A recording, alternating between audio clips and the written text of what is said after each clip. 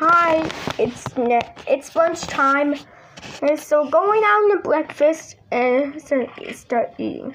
So far, I have French fries. Hmm. That tastes so good. Plus, you wouldn't know with Mario Go. Favorite snacking is fun with Ari's World.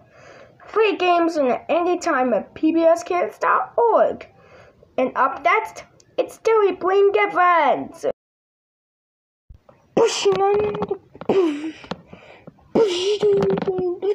PBS